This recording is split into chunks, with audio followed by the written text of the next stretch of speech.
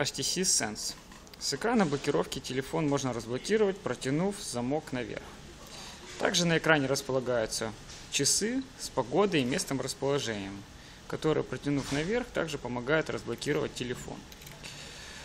С экрана э, можно запустить приложение, которое находится снизу, э, просто потянув нужное наверх.